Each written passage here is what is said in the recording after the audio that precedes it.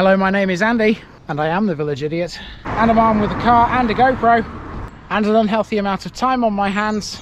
Welcome back to West Lindsey, and today you find me starting this one outside a church, which is very unique in the fact that it serves this village, but it's not within its parish boundaries. And I'll explain why it's not within its parish boundaries, but I'm still doing it as we progress through the parish of Morton.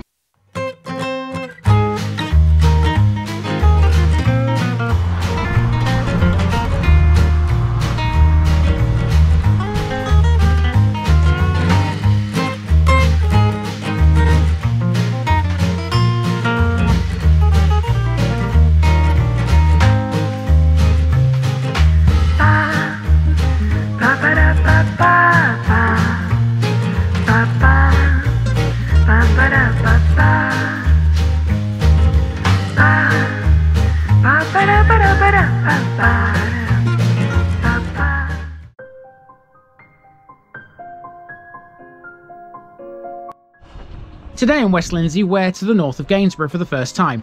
Our route begins and ends on Front Street, or at least I thought it did. So I've literally just had to check Google Maps here to make sure that I wasn't talking complete and utter rubbish. Have a look at this. I've always known this as Front Street. It seems to be known now as Morton Front, and even Google Maps says it's called Front Street. Has it changed its name? Morton is sometimes known as Morton by Gainsborough, presumably to distinguish it from other places with the same name, including another Morton in Lincolnshire near Bourne in South Kesteven. Morton's population at the 2011 census was 1,325. We're only one mile north of Gainsborough here. In fact, you can't get much closer to the town than here. The border between the two can often be a little blurred. It's another village alongside the River Trent. I'm going to warn you now, the next few villages in this series all follow the Trent to the north. Morton is listed in the Domesday Book as Moretune, at the time only having four households. It's certainly grown a bit since then. It was a township of Gainsborough Parish until 1846, when the first church dedicated to St Paul opened here. The church then became a chapelry until 1866 when Morton was created its own separate civil parish. The name Morton comes from the Old English moor and tun, which, much like Morton in Derbyshire, translated to farmstead on the moor or marsh. In 1871, the principal landowner was Mrs. Tennyson D'Eyncourt of Morton Hall, who was lady of the manor. From 1900 through 1913, the principal landowner was Sir Hickman Beckett Bacon, Baronet of Thonock Hall. Thonock is a neighbouring parish to Morton, which we'll meet soon, and compared to this place, it's a whole different ballgame.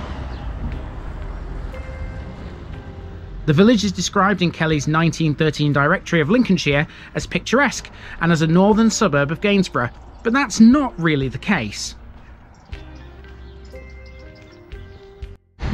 So in much the same way as Leigh, Morton is another village which is right next to Gainsborough. In fact, you wouldn't really know where the join is. Although later when we walk down Front Street, I will point out that join to you.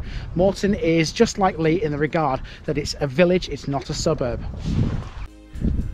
A survey of residents in 2018 resulted in a majority of those that took part in it expressing a desire to keep Morton as a village with its close connections to the rural area it borders onto.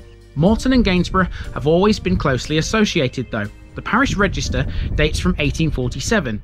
In early entries, Mortons are interspersed with Gainsboroughs, and individuals would most often be said to be of Gainsborough or of Morton.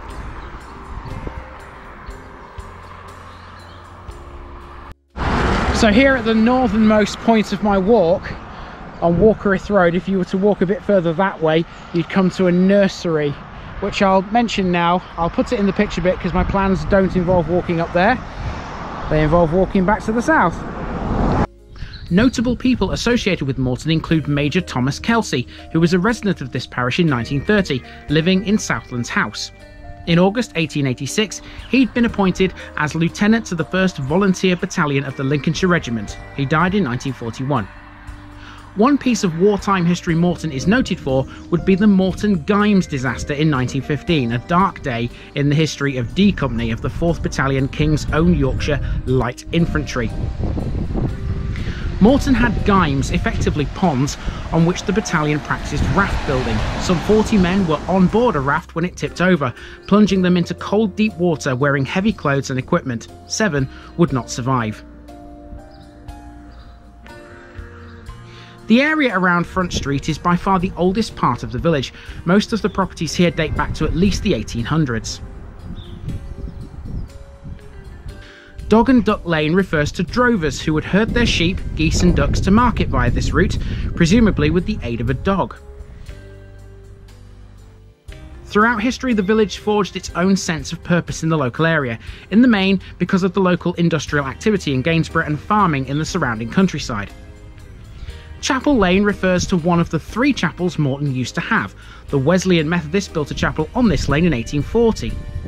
The Primitive Methodist had two buildings, one on Cross Street, founded in 1841, and a replacement on Dug and Duck Lane, founded in 1893. All three are now closed. And author George Eliot provides a literary connection to Morton. He wrote the novel The Mill on the Floss while staying here, and the fictional St Ogg's in the book is based on the village. I wonder what the demographics of the place were like when he was here. Nowadays, Morton's population density is 395.4. 99.5% of the residents here are white British, and the average house here can be yours for £205,000.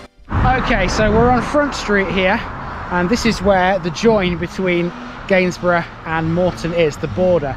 Front Street is the border. However, there's a, a, an unusual quirk about this border, and that is that it runs along that side of the road for some of the way and as a result St Paul's Church which is here is not actually in Morton, it's actually in Gainsborough but do you really think I'm going to save this for the Gainsborough episode? No. Amenity section now we'll start with the parish church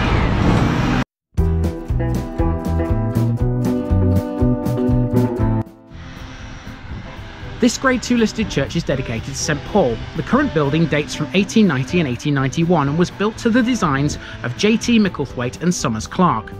It incorporates the tower of the original church consecrated in 1846, which appears to have been refaced.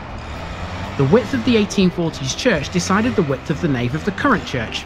An 1890 and 91 building campaign was largely financed by Sir Hickman Beckett Bacon at a cost of £11,000. The church includes a chapel to St Hugh off the south aisle. Of note is the chancel carpet, designed by William Morris, and there's some stained glass windows by Burne Jones.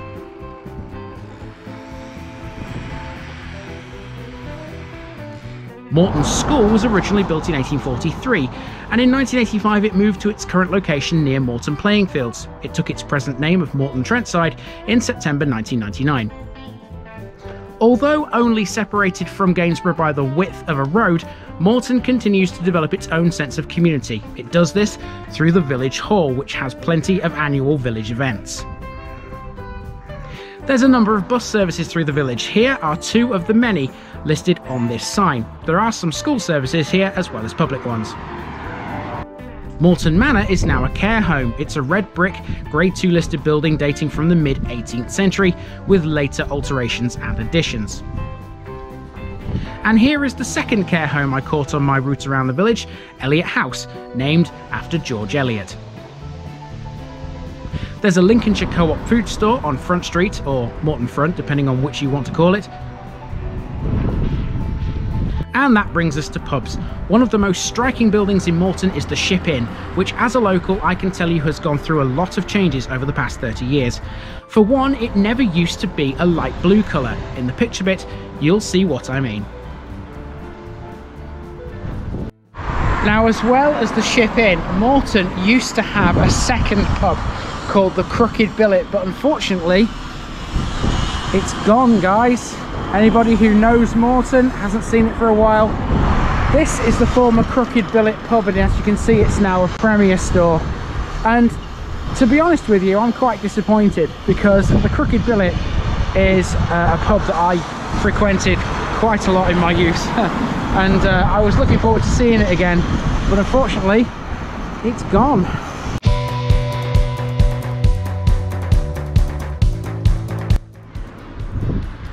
Now to Mill Lane where there's a former mill which has now been converted into a private house. There's no conservation area or any scheduled monuments in Morton, but the mill, known officially as the Mill at Gainsborough Laundry, is one of nine listed buildings in the village. A tower mill, this is early 19th century and made of red brick. It's a five story tapering tower and is quite simply unmissable. There are clues close by as to what else would have stood here at one time. The mill is behind Granary Close. So in itself, the village sign here at the village hall is quite the landmark itself. So we've got the village hall marks on there, the crooked billet, the mill on the floss. I think that's the school in the top right corner. There's a longboat, I can't see what that is. Is that the ship Inn? Yes, the ship Inn. And running through the entire thing, we have the River Trent. That's quite cool.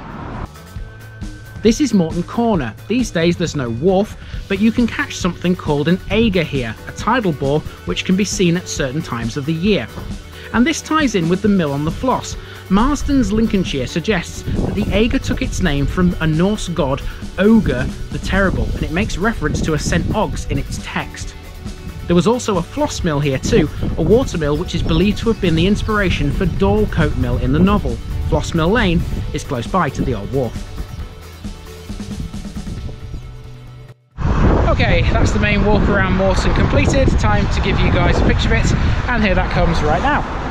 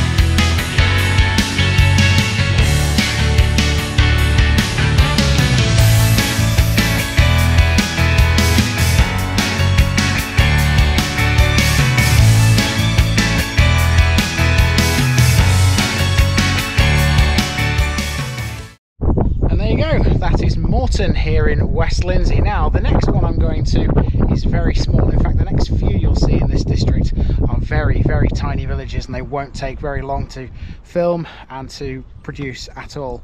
Uh, we're working our way up the River Trent on the eastern side towards where it borders North Lincolnshire. But for now, this has been the parish of Morton, and I've been Andy, also known as the Village Idiot, and I'm out.